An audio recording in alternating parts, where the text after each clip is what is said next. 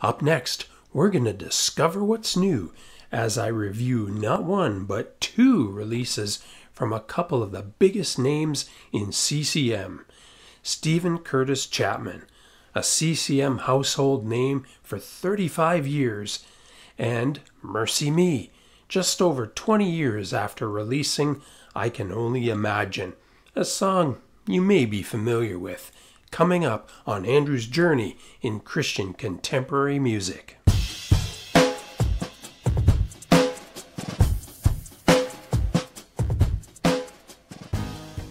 Welcome to Andrew's Journey in Christian Contemporary Music, where we dive into the classics, discover what's new, and demonstrate the originals. If you're into all things Christian contemporary music, please consider hitting that subscribe button. And if you're liking what you see in today's episode, to give it a thumbs up. Climb aboard, let's do the CCM journey together. And before I get started, I just want to mention that I've created a Spotify playlist called Discover What's New. In it are the albums that I've featured in previous Discover What's New episodes, and will also include the albums I'm discussing today. The link to the Discover What's New playlists are in the description below. As I said off the top, I'm going to review the latest from both Steven Curtis Chapman and MercyMe. So since I'm doing two this time, I thought what I'd do is just give a more of a summary of these albums, highlighting some of the things, or at least giving some of the highlights to me, instead of going through track by track, just to save a little bit of time. And also, even though I have history with both these artists, I'm not going to go deep into any of their other albums or the discography. I'll save that maybe for another time. We're just going to concentrate on these new albums that uh, they've brought out in the last few weeks. And I'm guessing that most of you who are watching this probably know who Steven Curtis Chapman and MercyMe are. So let's get to it. So let's look at Steven Curtis Chapman's new release, Still.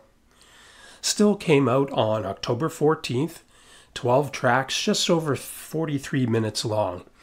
When I listened to it the first time, I right away thought, yeah, that's Steven Curtis Chapman.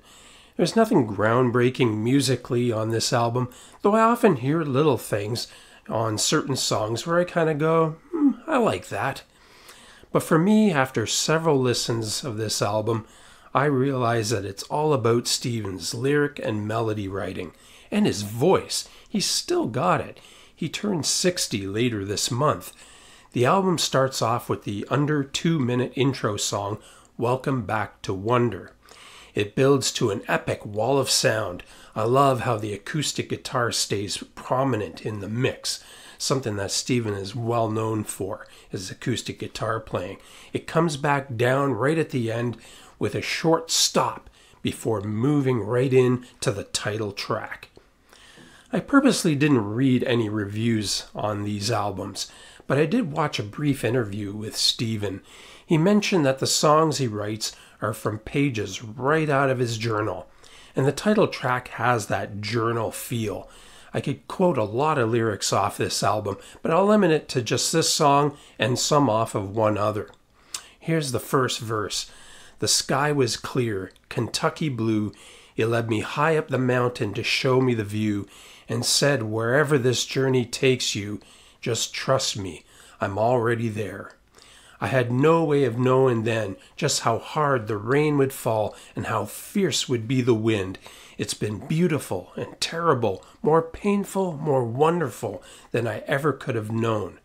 But even so, still I'm going to sing about the one who's given life to me. Oh, his love is unchanging, his grace is amazing. Still, I'm going to praise the only one who always stays the same. Oh, I know He is good. I know He is faithful still. And then on to verse 2.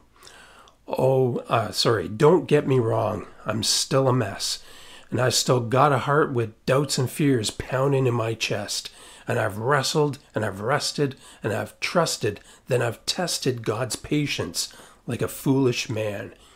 When I surrender once again and I come like a little child reaching out my hands. He lifts me every time, and tells me he loves me. Then, after the second chorus, Steven breaks into a bridge declaring God's faithfulness. If you know the story of the Chapman family, specifically the tragic loss of their adopted daughter, you can really appreciate the mountain and valley experiences that he's singing about here, but still sings of God's faithfulness through it all. Moving on, he goes from a personal song to a song of encouragement to us in Don't Lose Heart. From there, he moves to the first single that was released back in the summer, I'm Alive. I was really excited to see that he had his two sons on this song and throughout the rest of the album. A run of upbeat and mid pace songs follow Kindness, Running After You, and Unfixables. But for me, the album really shines as Steven brings the pace down. One of, the, one of the highlights to me is the simple, short, just over three minutes, but powerful song Love Now. A quick little piano intro leads to Steven singing about someone he knew who was ill, that they were all praying for his healing, only to have God take this person home. As the title would suggest, the song is all about loving now because we never know how much time we or others have left. The chorus is probably my favorite melody vocal from Steven. Just beautiful. Where Else Could I Go has a little 80s flavor with a familiar 80s sounding synth sound. After that, after the song A Desperate Benediction, Peace on Earth, comes another highlight for me. The song is Living Color. Steven tells the story of a seventh grade best friend, Carlton Bell, who was black. Carlton moved away and they lost touch, but Steven, years later, tracked down where he ended up, having died in 2016. In the last verse, Steven tells of the hesitation of writing and singing this song, but felt was important to share their story. The verse goes, While I know these things are all way more complicated, so much is so broken beyond fixing it can seem. And if I'm honest, I'm scared to even write and sing this song. I don't want to somehow say the wrong thing.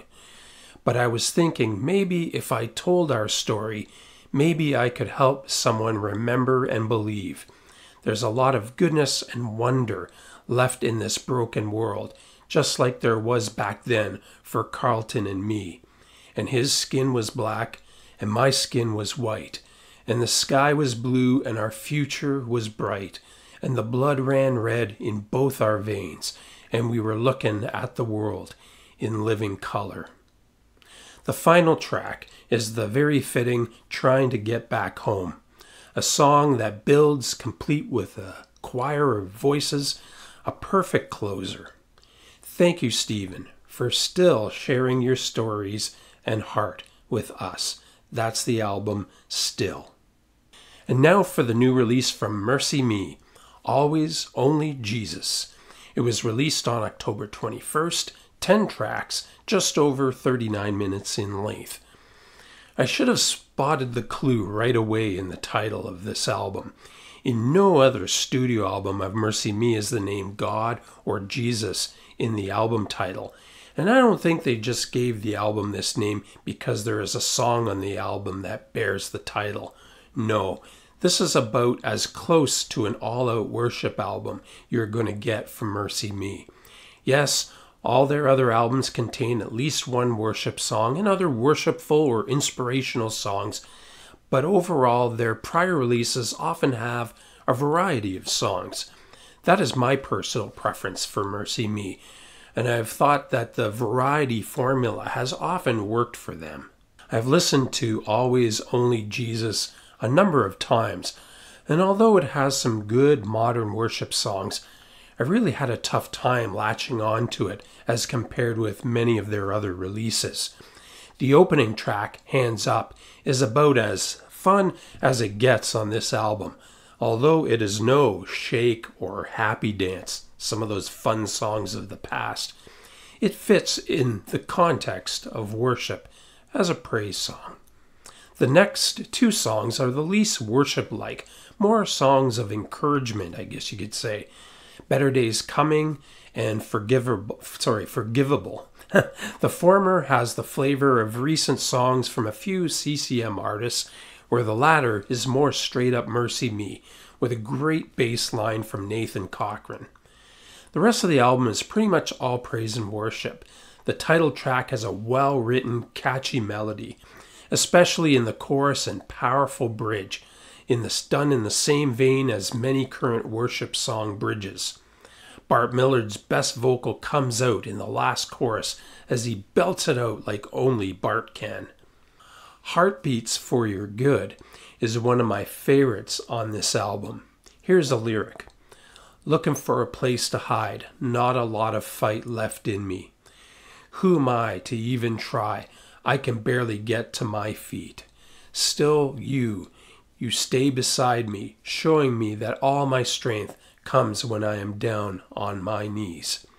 I may never know the answers to how you work, yet you always do. Your heart beats for my good, so my heart beats for your good. Even when the storm is raging through, in the middle of it all you prove, your heart beats for my good, so my heart beats for your good. And later in the bridge, it's gonna be, it's gonna be worth it, because everything, everything's working for your good, for your good. Grace Amazing has traditional hymn like verses with a more modern chorus. I'm glad to hear that some of the songs, like Grace Amazing, has more acoustic sounding drums in it, less drum sampling, and the guitars have some interesting nuanced parts throughout this release. The final and longest track, at just under five minutes, Nothing But the Blood, presents a new take on the classic hymn Nothing But the Blood of Jesus.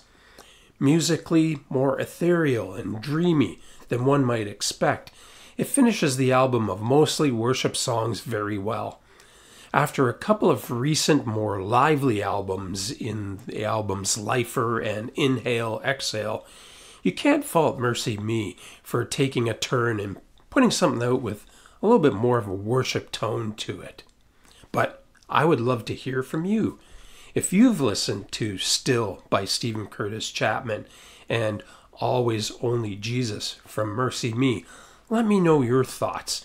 And if you haven't heard them yet, check them out. How do these albums compare with others in their respective catalogs? Well, that's all I've got for today. Don't forget to subscribe if you haven't already and give this video a thumbs up. We'll see you next time on Andrew's Journey in Christian Contemporary Music. So long, God bless, and bye for now.